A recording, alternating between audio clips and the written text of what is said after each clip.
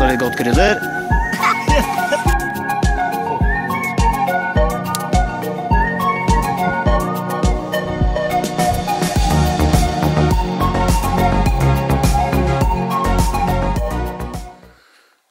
Hei, hei.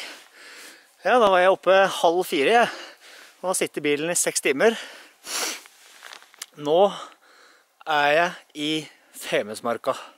Skal jeg inn i nasjonalparken. Skal jeg være her eh, et par dager og kose meg. Dette har jeg gleda meg til lenge. altså. Femundsmarka har noe jeg hatt lyst til å dra til lenge. Jeg trodde det skulle bli sommeren som ble første turen, men jammen ble det vinteren, gitt. Det er eh, null til én plussgrad. Snøen er litt sånn våt, og det er løst og kjempetungt å gå. I hvert fall når det er oppover. Så, men ellers så er det bra. Trekker innpå litt skyer. Skal bli litt sånn snø og kanskje regn eh, i dag og litt i morgen. Og så skal det bli bedre enn og kaldere. Dette skal bli knallkos og gleder jeg meg, altså.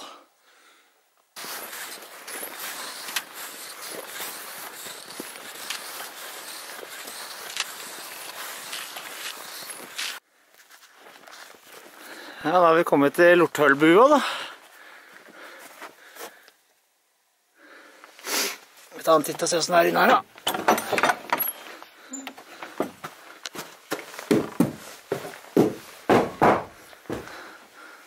Ja. Her går det an å være. Sengeplass til fire stykker. Fyring og Det er jo helt konge, det. Oi.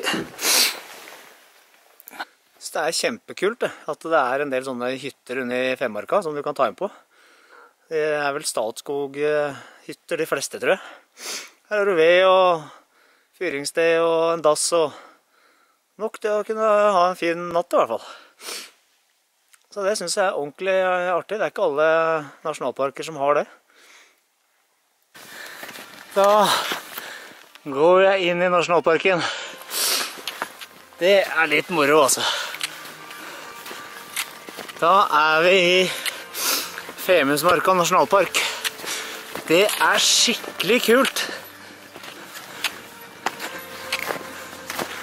Ja, dette har jeg venta lenge på, altså.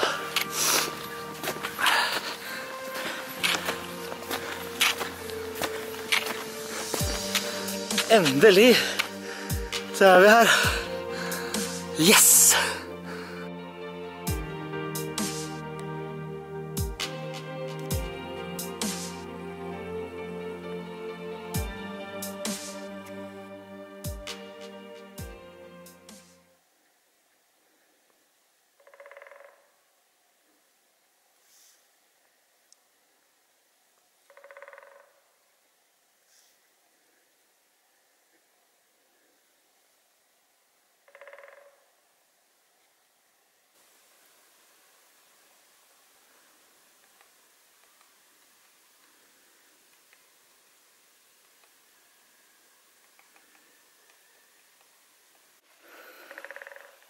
Her har jeg hatt uh, turgåere før meg. Her er det to elger som har drevet og holdt på.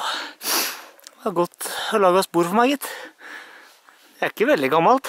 Det er ikke helt nytt, men det, jeg tenker at det er i går, kanskje.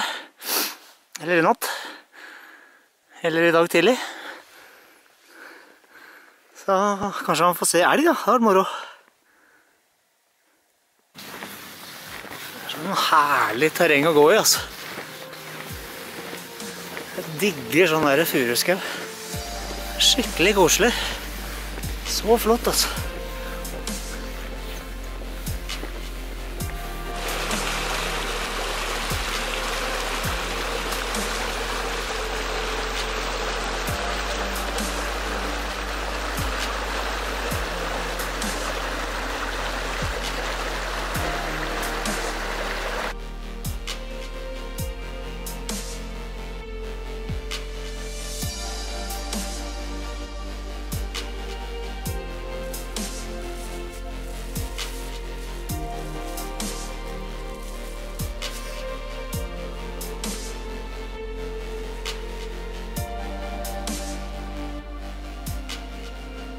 Jeg skulle ha lagt ut oppskrifta på disse her. Det kom jeg på nå, det. Helt glemt. Det beklager jeg.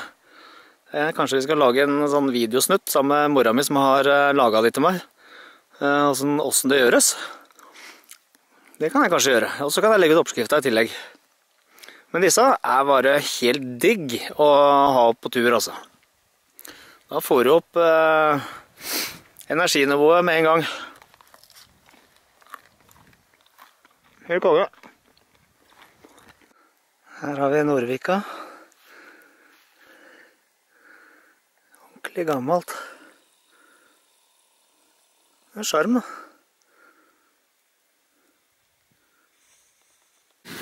Ja, da krysser vi Femunden, da. Så det er det var folk som hadde gått her. Ja, da er nok den isen ganske trygg og grei. Sparer jeg litt grann tid. Det blir bra.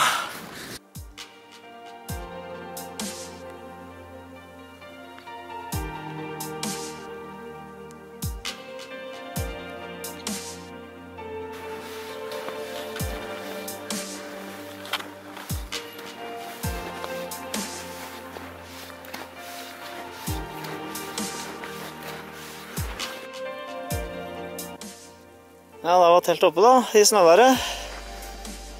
Det har begynt å snø mer og mer. Så jeg surra faktisk litt. Jeg gikk litt sånn feil retning. Så jeg har gått litt lenger enn jeg hadde regna med. Jeg har ikke kommet helt dit jeg hadde tenkt jeg skulle være, men nå ble jeg så sliten at nå fant jeg at nå, nå stopper jeg. Jeg er ikke noe å stresse etter. Det er jo kjempefin plass, da. Her blir det kos å ligge vet du, til i morgen.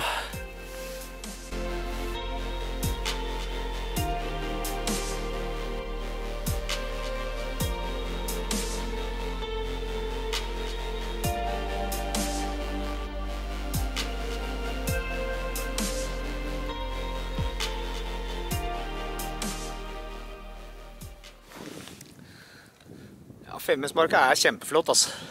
Det har vært en ordentlig fin dag. Det ble ordentlig vinter igjen nå. Det er bra at det kommer litt snø, for det er ikke så innmari mye snø. Så da, da blir det å kose seg inn i teltet da, til i morgen. Bare slappe av og nyte teltlivet. Så blir det en ny dag med litt mer trasking i morgen. Det er bra, vet du. Det er så fint å være på tur, altså. Helt topp.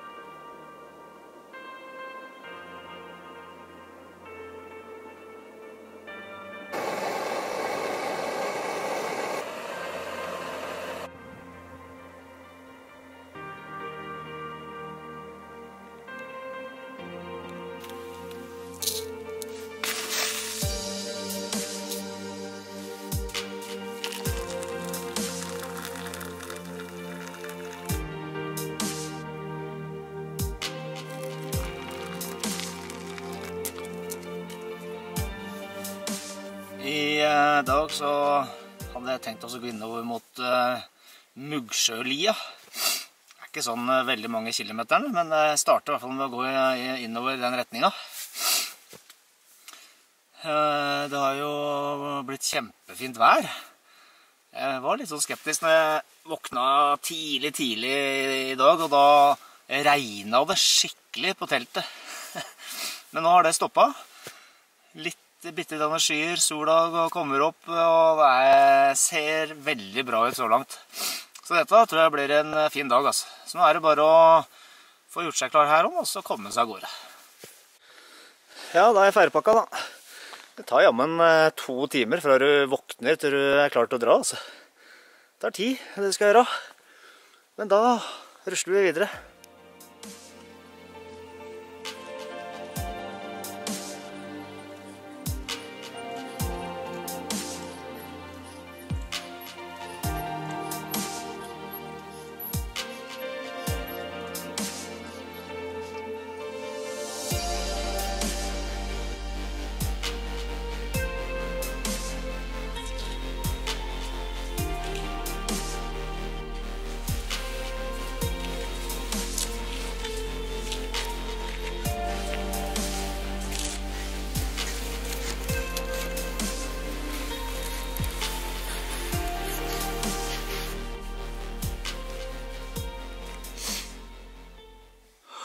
Ja, da skal jeg få lov til å dele en av mine blemmer igjen.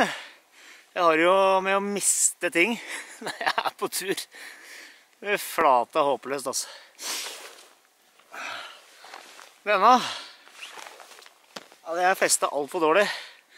Så den hadde dette, ja. Hadde jeg merka når jeg kom hit. Så da har jeg gått eh, halvannen kilometer ekstra, da. Må forbedre rutinene litt. Feste ting litt bedre, Også. Det verste er at jeg kan ikke huske at jeg har festa det kartet. Så jeg lurer på om det bare har ligget oppå. Så det er flaks at de ikke har dette enda lenger bak. Er det mulig? Flate, ass. Ja, ja. Man lærer i hvert fall. Forhåpentligvis. Den toppen her borte, den uh, tror jeg heter Mugggruven.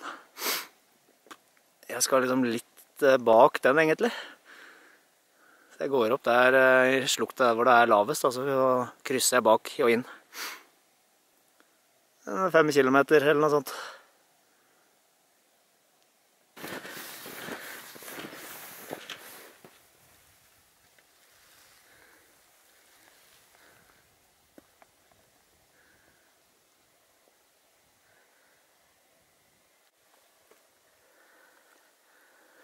Det er ikke så gamle spora. Så tok jeg opp en rype rett borti her. Det er artig. Ser litt liv.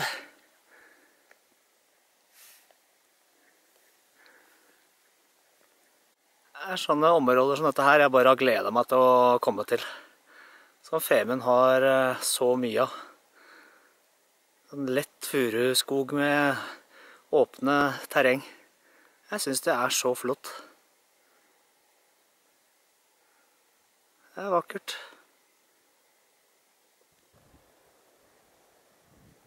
Ah, snakk om påskestemninga. påskestemning, ah, Helt nydelig. Dette er herlig, altså.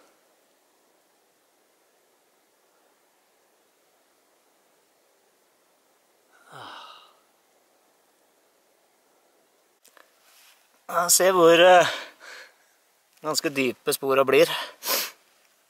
Det er ganske tungt å gå, altså. Så er snøen så løs òg, vet du, at det, jeg tråkker jo 40-50 cm ned i, i innimellom. Eller ganske, ganske så ofte, faktisk. Så det er tungt å gå. Det går sakte framover.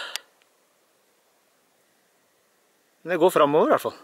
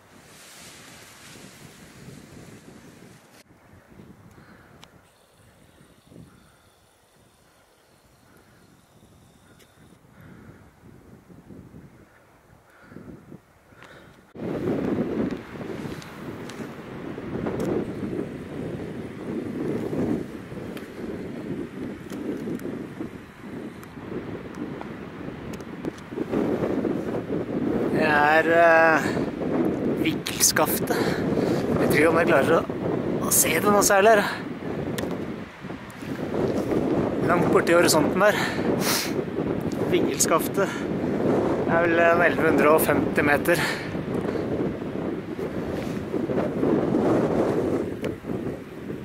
Det blåser litt mer her oppe.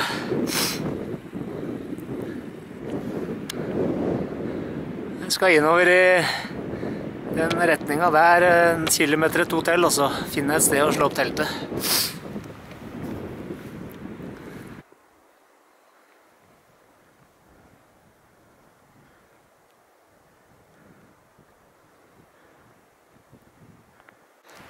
Ja, da var teltet oppe igjen, da. Da var jo været snudd eh, skikkelig i mellomtida. Det begynte å snø litt, og så blåser det ganske godt. Kommer noen skikkelig gode kast.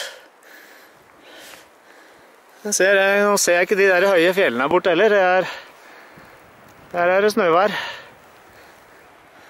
Her sånn er det jo en helt annen vegetasjon. Her er det mye mer eh, bjerk, småbjerk og, mye, og mindre furu. Så det er litt rart. Bare å komme på andre sida av det fjellet, så forandrer det seg så mye.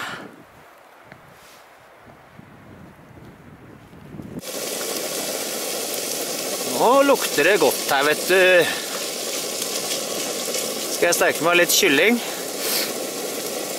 Som jeg har krydra med hvitløk og masse annet deilig krydder. Og så skal jeg steke litt bacon. Nå skal jeg bare sitte og gomle og kose meg. Nå er jeg skikkelig sulten. Så blir det noe real eh, turmat eh, til kvelds, tenker jeg. Ja, da er det ferdig. Ser ikke godt ut, da? Å, fy flate, jeg gleder meg. Det skal bli ordentlig deilig. Utrolig hvor godt sånn uh, mat smaker når du er på tur. Det blir jo tre ganger så godt som hjemme.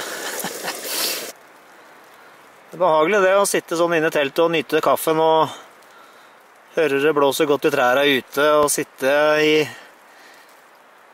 le inne i teltet.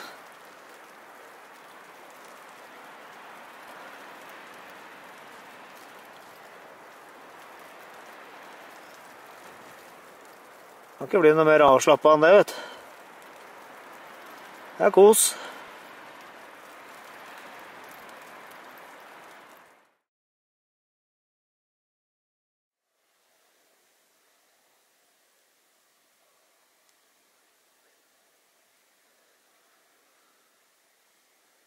Det har blitt skikkelig vinter igjen her over natta. Sola kommer fram, så hadde det blitt vakkert, altså. Tidligere på morgenkvisten så var rypa ute og spilte litt.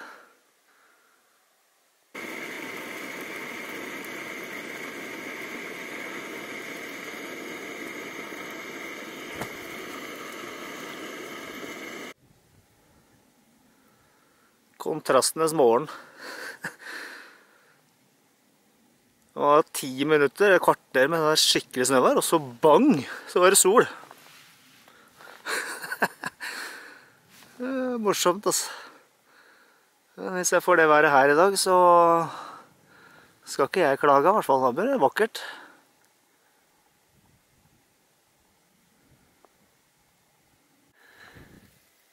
Og da er det fem minutter siden sola var oppe, og da er den borte igjen, og, og snør igjen.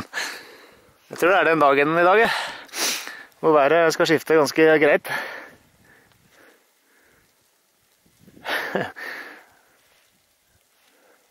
Sånn er det å være på fjellet. Den titter så vidt gjennom der borte, denne sola.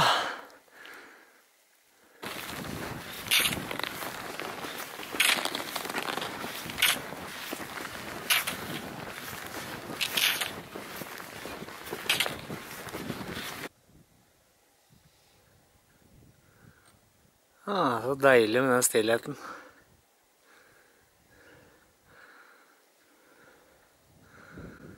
Det er balsam for sjela, altså.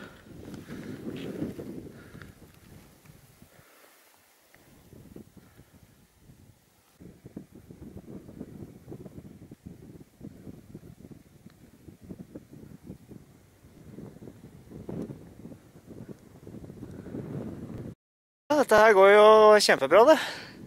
Nå er jeg på det høyeste punktet på turen i dag. Så nå blir det en god del eh, nedover, faktisk.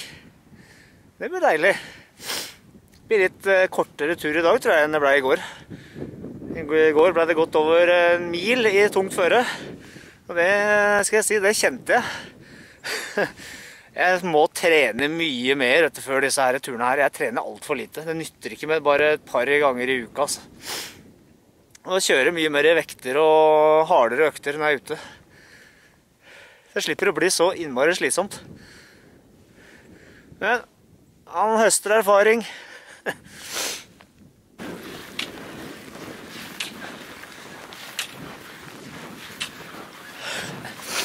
I snøvær Da går det skifta en del, altså. Men jeg tror det skal være sånn i dag. Skal det visst bli bedre i morgen.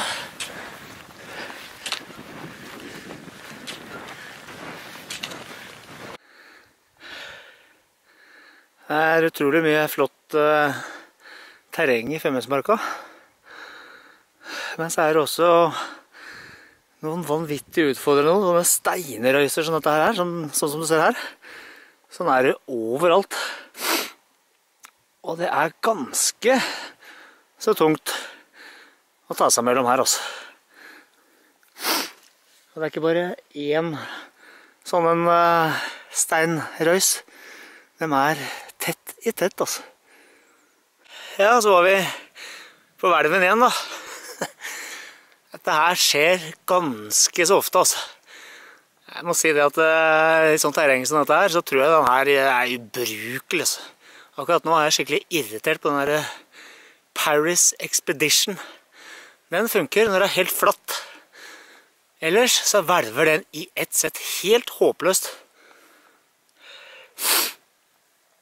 Det er min uh, mening akkurat nå, i hvert fall.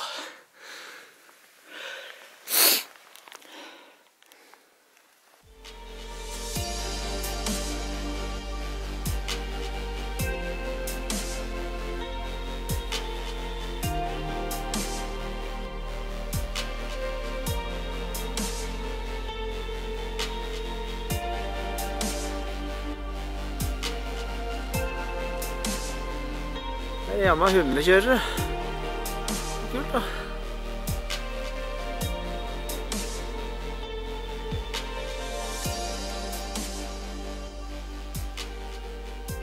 Det har vært moro å være med på en gang, vet du. Ja, da var teltet omsider opp igjen, da. Dette ble en lang dag, altså. Klokka er fem. Jeg har gått kjempelangt. Lager meg litt god mat. Bare slapp av. Det blir digg.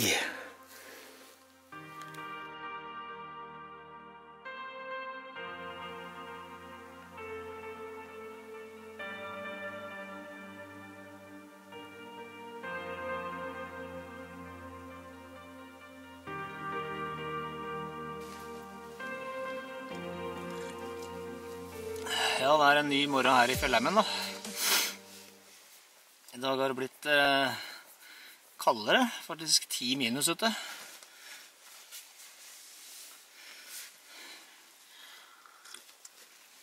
Så nå skal jeg pakke sammen, prøve å få meg litt rann å spise. Matlysten er ikke veldig på topp. Jeg var litt sånn uggen de siste halvannen timen av skituren i går. Det ble bare verre og verre. Så jeg fikk satt meg inn i teltet og sånn, så ble jeg bare skikkelig sånn kvalm og fæl. Så eh, det endte jo med at jeg spøy. Så da ble det ikke noe kveldsmat i går. Gikk bare og la meg.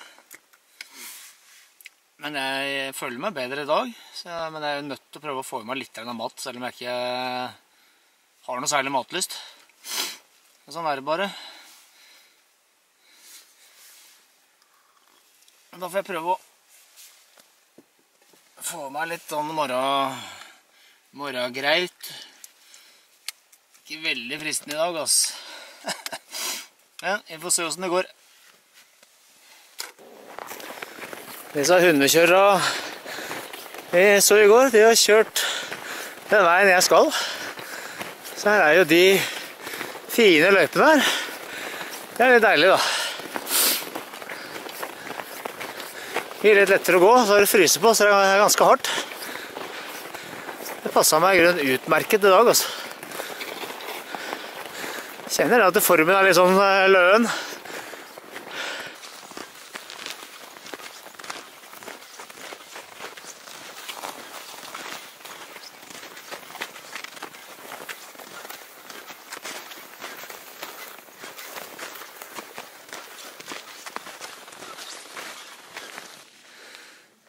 Ja, da er min tur snart over, den.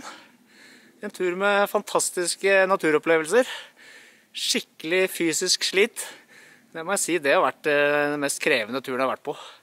Mange ordentlig tøffe, vanskelige partier, altså. Så eh, det har vært en ordentlig utfordring. Men jeg skal tilbake til Fellesmarka. Neste gang blir vel sikkert sommeren. Så mm, totalt oppsummert så må jeg jo si at det har vært en eh, kjempeflott tur. En tur jeg kommer til å huske lenge. Så da skal du ha takk for følget. Så ses om ikke så lenge, håper jeg. Ha det bra.